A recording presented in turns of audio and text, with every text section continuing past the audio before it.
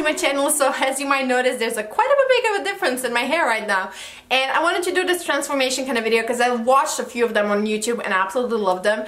And since I was doing something quite drastic for me at least for my hair I wanted to let you guys come along with me. So basically I went to the hair salon here in central Birmingham called Bad Apple Hair. They have a few around Birmingham area in England um, in case you were interested. But basically I got approached by their PR manager and she's like you know you can come and have whatever you want done. And I was like, you know what, I actually need like a trim for my hair, my ends, so like I might just do that because I'm normally really, really fussy with my hair. I have never ever gotten it colored like ever. And I only get trims because I'm like so super careful about it. But lately I've been really enjoying like curling it. And I even asked uh, my boyfriend Danny, he asked me what I want for my birthday which is in two weeks. I was like I want a curling iron. So hopefully maybe you know the good fairy of my birthday is gonna bring it to me. We'll see. But I've been just really enjoying it lately and I want to play around with it even more. And then basically when they approached me I went on their Instagram and the guys swear to god you need to follow these guys on Instagram I'm gonna link it below because it is so amazing just for like inspiration. If you're not gonna use the service still, just follow them because their, their, their work is just so inspiring.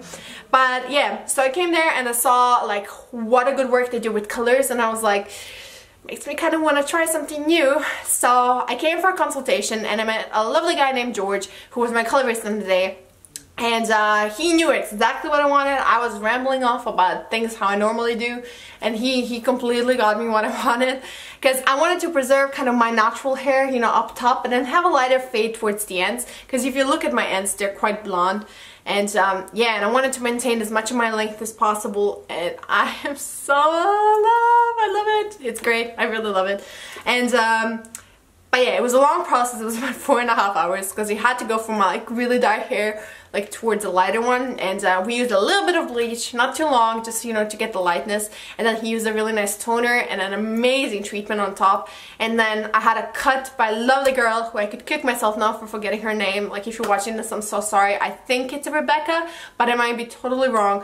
But anyway I had a lovely girl with beautiful blonde hair cut my hair and she was so nice. And the whole crew there they're just so great and um, yes it was like such a great experience uh, yeah, what else? So you're probably seeing by now maybe like some comparison pictures and stuff like that and some videos of the salon and the and the process. It was so pleasurable and then they gave me some advice and some good products.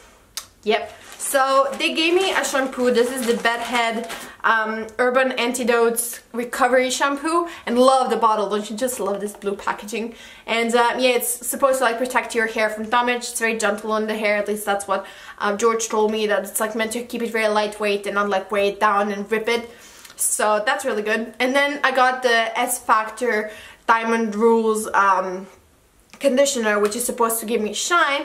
And then finally to use once a week they gave me the bedhead uh, color goddess mask. So this is just like for once a week for like deep moisture of the hair just because it is lighter. So normally when you lighten your hair it's a little bit like um, risking the shine in the hair because it's very like abrasive. But I don't know I really like it. What do you guys think? Is this better? Is it better before? I really love it. Like please don't crush my dreams. Even if you don't like it just write below this is your best hair yet.